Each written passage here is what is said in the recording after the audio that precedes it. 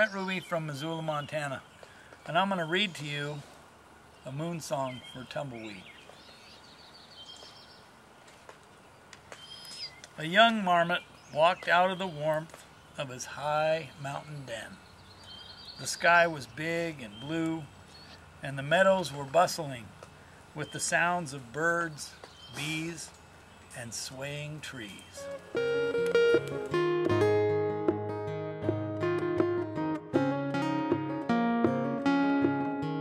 Marmot grew as he played in the wildflowers and as he ran over and under ancient lichen covered rock towers. The high mountain life, a marmot's life of happiness.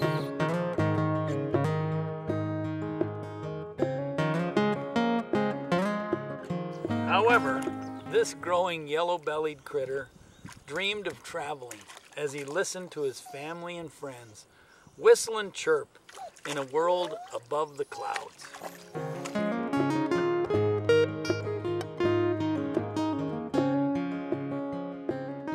One early morning, the marmot left the den and rambled down the majestic purple rocky mountainside toward the yellow waves of tall grass in the prairie below.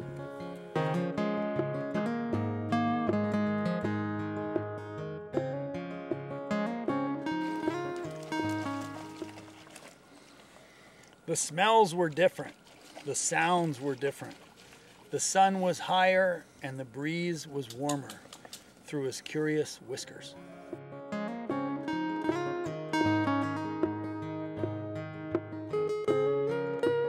He felt alone and scared as the sun went down over the high mountain peaks where he was from. He did not have a nice warm den to crawl into, and he missed his family.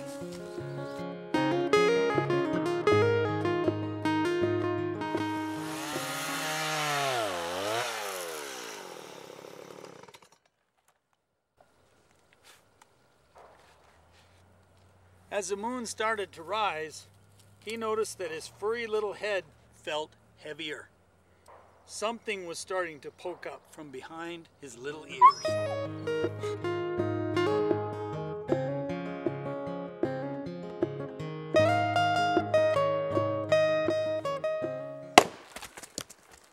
Oh, hi, you're still here.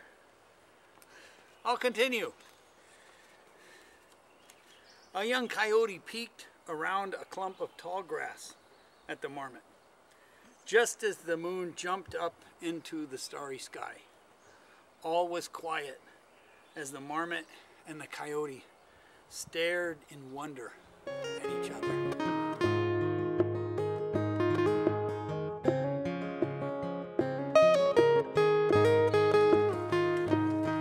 Coyote looked away and up to the moon. Coyote tilted his head back and let out a loud ow.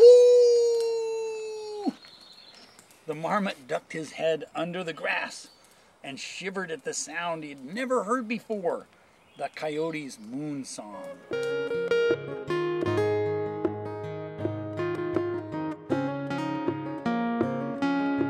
Coyote laughed and rolled in the grass. What are you afraid of, Marmot? When we see the moon, we want to sing to it. We need to sing to it.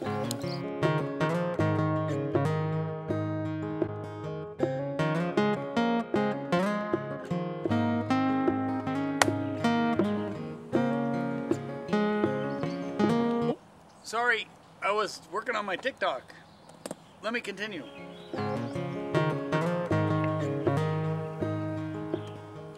What do you do when you see the moon, Marmot? What does your moon song sound like? Coyote asked. Marmot said, I don't know.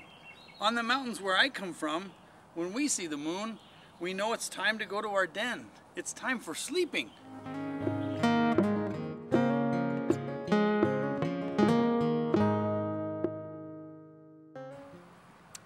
No, no, no, said Coyote.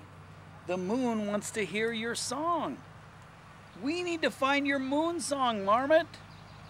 The marmot scratched at the little bumps growing behind his ears. he noticed that they were now taller than his ears and pointy.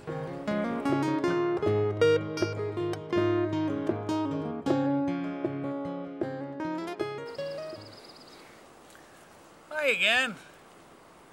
The marmot looked up at the moon, shiny and bright. He took a deep breath and tilted back his little head like he saw a coyote do. The moon song that came out of Marmot echoed across the wide prairie. Yodel-hee, yodel-hoo, yodel-ee.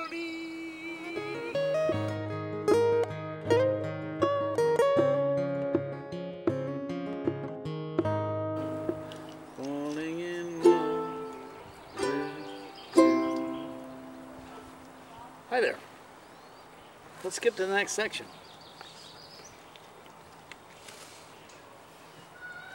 Coyote's eyes were so big they reflected the light of the moon as he looked up at Marmot. Marmot stood taller. Marmot did not scratch at the bumps behind his ears. Marmot had grown a full set of antlers after discovering his mountain song to the moon.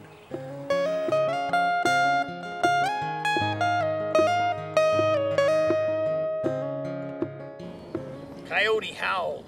Ow! Marmot yodeled. Yodel-o-wee! Coyote, you're my new friend. Marmot and Coyote continued their moon song in harmony late into the night.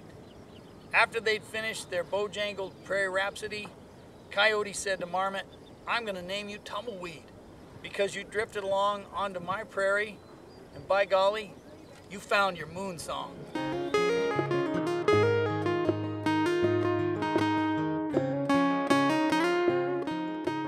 When the coyotes howl their moon song, they sing to celebrate the moon and their friendship with the yodeling marmalope they named Tumbleweed.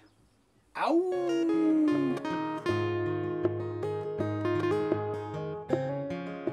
Listen close. Under that same moon, if you hear a yodel coming down from the mountains, another marmot has found his moon song and his antlers. Yodel!